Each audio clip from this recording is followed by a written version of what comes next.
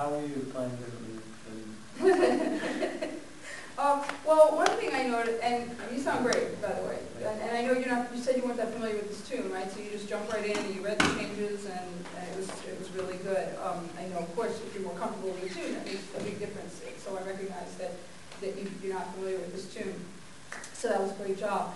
Um, one, one thing I noticed um, is, um, and this is a really common thing among young players, that rhythm, there's so, especially as a jazz pianist, there's so much to learn harmonically that rhythm tends to take a back seat when you're learning to play jazz piano. Some, somehow it just develops that way.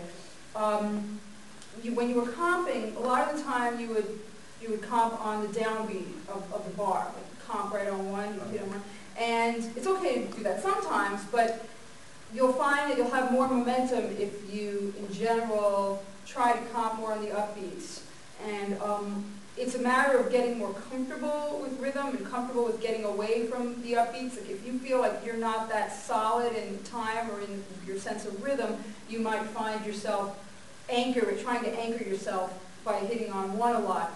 Um, and one way to get more comfortable, you know, this is something you can practice. Um, a really like basic little rhythmic motif in, in jazz, of like, you know, every type of jazz for the last hundred years would be dotted quarter note, eighth note, you know, like this kind of figure, two, three, like Charleston figure.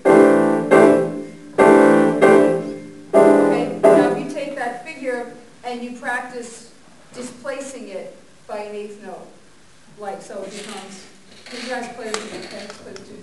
One, two, three, and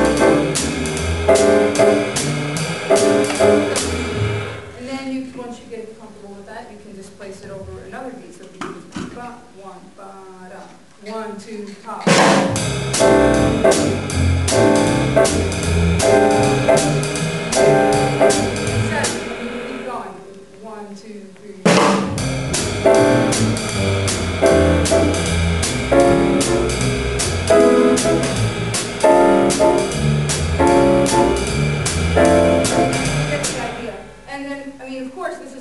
Exercise. It doesn't sound very musical when you, when you do it, but the idea is that eventually you get really comfortable with mixing and matching, all, you know, and, and starting um, and hitting on any any eighth note within the measure, you know, Yeah. and, and just gets more comfortable. One, two, three,